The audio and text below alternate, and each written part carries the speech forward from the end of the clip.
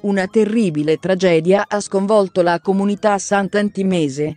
Un bimbo di 5 mesi è deceduto questa mattina in casa a quanto pare per cause naturali.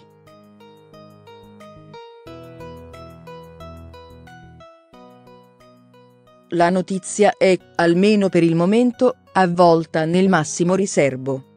Sul luogo, i carabinieri della locale caserma diretta dal tenente Daniele Perrotta e un'ambulanza del 118 che però hanno potuto solo attestare il decesso del neonato.